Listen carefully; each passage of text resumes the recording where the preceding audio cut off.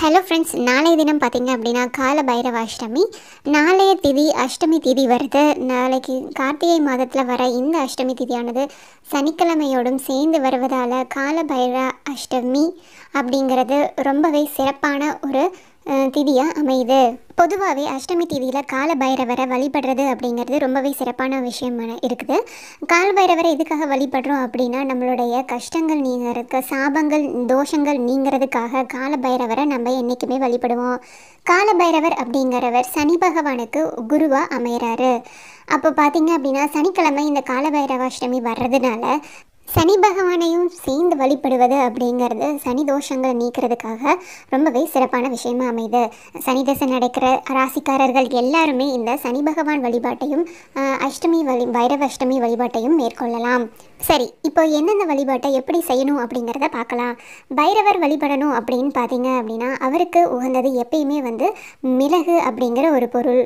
மிளகு அப்படின்னு பார்த்தீங்கன்னா இருபத்தி ஏழு எண்ணிக்கையில் எடுத்துக்கணும். அதை வந்து சிவப்பு நிற வஸ்திரத்தில் நீங்கள் வச்சு வழிபாடு பண்ணிவிட்டு அதை நீங்கள் கோயிலில் கொண்டு போய் வைக்கிறீங்க அப்படின்னா கோயிலில் கொண்டு போய் நல்ல ஒரு அகல் விளக்கில் நல்லெண்ணெய் ஊற்றி அதை நீங்கள் கட்டியிருக்கிற அந்த முடிச்சு அதாவது இருபத்தி ஏழு மிளகை அந்த சிவப்பு நிற வஸ்திரத்தில் வச்சு முடிச்சா கட்டிக்கணும். ஒரு சின்ன மூட்டை மாதிரி.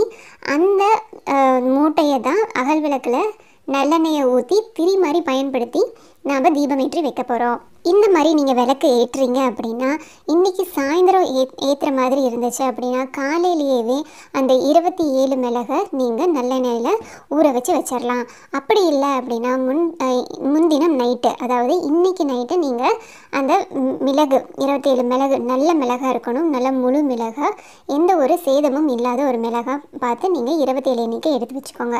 அதை அந்த மூட்டையாக சிவப்பு நிற வஸ்திரத்தில் மூட்டையாக கட்டி அதுக்கப்புறம் நீங்கள் கோயிலில் கொண்டு போய் அகல் விளக்கில் தீபமேற்றி வச்சுக்கலாம்.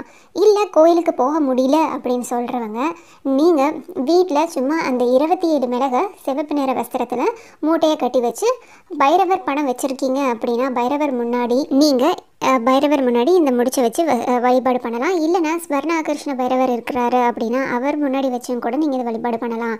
ஸ்வர்ணாகர்ஷண பைரவர் முன்னாடி வைக்கிறது அப்படிங்கிறது உங்கள் கடன் பிரச்சனைகள் நீங்கி செல்வ செழிப்பு வளரணும் அப்படிங்கிறதுக்காக. கால பைரவர் மு- முன்னாடி வைக்கிறீங்க அப்படின்னா அது வந்து உங்களுடைய கஷ்டங்கள் நீங்கி உங்கள் வாழ்க்கையில் மேம்பாடு அதிகரிக்கணுங்கிறதுக்காக. பொதுவாகவே பார்த்தீங்கன்னா பைரவருக்கு ஏன் இருபத்தேழு மிளகு வச்சு வழிபாடு பண்ணுறோம் அப்படின்னா அவருக்குள்ள இருபத்தேழு நட்சத்திரங்களும் பன்னிரெண்டு ராசிகளும் இருக்கிறதா ஐதீகம். அப்படி ஒரு கால பைரவருக்கு நம்ம தீபமேற்றி வச்சு வழிபாடு பண்ணும்போது பன்னெண்டு ராசிகளுக்கும் எந்த ஒரு ராசிக்காரர்களாக இருந்தாலும் சரி அவங்களுக்கு ஏற்பட்டிருக்கிற தோஷம் ராசிகளால் ஏற்பட்டிருக்கிற தோஷம் தற்போது நவகிரகங்கள் என்னென்ன பயிற்சிகள் பெயர்ச்சிகள் நடந்திருக்குதோ என்னென்ன தோஷங்கள் அதனால் வந்திருக்குதோ அதனோட அதனால் ஏற்படுற கஷ்டங்கள் அனைத்தும் நீங்கும் அப்படிங்கிறது ஐதீகம். முக்கியமாக நாளைக்கு சனிக்கிழமை பைரவாஷ்டமி வர்றதுனால சனி சனி பகவானால் ஏற்படக்கூடிய அந்த தோஷங்கள் சனி திசை நடக்கிறவங்க சனி திசை நடக்கிற ராசிக்காரர்கள் ஒரு கருப்பு நிற வஸ்திரத்தில் இந்த இருபத்தேழு மிளகை எடுத்து அகல் விளக்கில் நல்லெண்ணெய் ஊற்றி ஏற்றி வச்சு தீபமாக ஏற்றி வைக்கிறது அப்படிங்கிறது சனி சனி தசையால் ஏற்படக்கூடிய தாக்கங்கள் குறைக்கும் கண்டிப்பாக அப்படிங்கிறது நிதர்சனமான உண்மை. ஏன் அப்படின்னு பார்த்தீங்கன்னா சனி பகவானுடைய குரு வந்து இவர் தான் இந்த பைரவர் தான். அதனால் கண்டிப்பாக குருவோட அனுகிரகத்திற்காக சனி பகவான் கண்டிப்பாக இறங்கி வருவார் அப்படிங்கிறதும் கண் கண்டிப்பான உண்மை. அதனால் செல்வம் செழிக்க கஷ்டங்கள் நீங்கள் தோஷங்கள் நீங்கள் கடன் பிரச்சனைகளிலிருந்து வெளிவர எதுவாக இருந்தாலும் சரி கண்டிப்பாக நீங்கள் பைரவரை வந்து வழிபாடு பண்ணலாம். வழிபாடு பண்ணிவிட்டு சனீஸ்வரனையும் மனதார வேண்டிக்க வேண்டிக்கலாம்.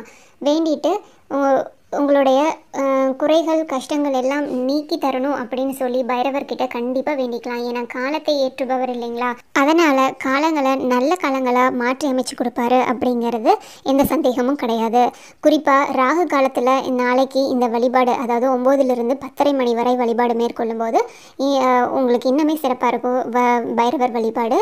பொதுவாகவே சிவனாலயங்களில் பைரவர் இருப்பார். பக்கத்தில் இருக்க சிவாலயங்கள் நாளைக்கு போய் நீங்கள் இந்த முடிச்சு நீங்கள் காலையிலேயே கட்டி வச்சுருக்கீங்க அப்படின்னா சாயந்தரம் போய் அந்த சிவாலயத்தில் போய் நீங்கள் அந்த விளக்கை தீபம் ஏற்றி வச்சு வழிபாடு பண்ணலாம். அந்த சிவப்பு நிறம் வஸ்திரம் அப்படிங்கிறது பொருளை ஈர்க்கிறதுக்காக அந்த இருபத்தேழு மிளகுங்கிறது அந்த சிவப்பு நிறத்து நிற வஸ்திரத்தில் வச்சு வழிபாடு பண்ணும்போது செல்வ செழிப்பு வளர்கிறதுக்காகவும் அது பயன்படுது. நீங்கள் பைரவரை வழிபாடு பண்ணும்போது பைரவருக்குரிய காயத்ரி மந்திரத்தை இருபத்தி ஏழு முறை இல்லைன்னா நூற்றி எட்டு முறை சொல்லி வழிபாடு பண்ணலாம். நாளைய தினத்தில் வர இந்த பைரவாஷ்டமிங்கிறது மிகப்பெரிய நன்னாள். கார்த்திகை மாதத்தில் வர்றது.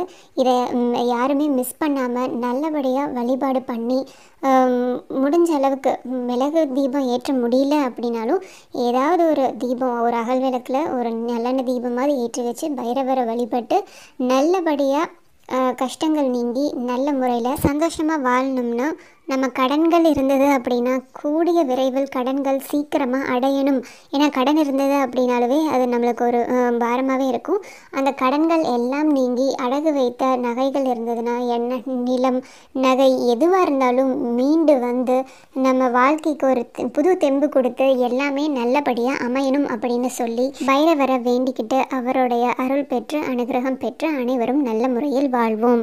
இந்த பதிவு உங்களுக்கு பிடிச்சிருந்துச்சு அப்படின்னா வீடியோவை லைக் பண்ணுங்கள் ஃப்ரெண்ட்ஸ் அண்ட் ஃபேமிலிக்கு ஷேர் பண்ணுங்கள் மறக்காமல் என்னோட சேனலை சப்ஸ்கிரைப் பண்ணுங்கள் நன்றி. அது கூட சேர்த்து தமிழ் கேலண்டர் அப்படிங்கிற வகையில் நம்ம தேதி கேலண்டர் தமிழ் தேதி கேலண்டரை நாளைய தேதி அப்படியா இருந்ததுன்னா அது இன்றைக்கவே பதிவாக வெளியிடுறோம். அது தினசரி காலை பதினோரு மணிக்கு வெளியாகும்.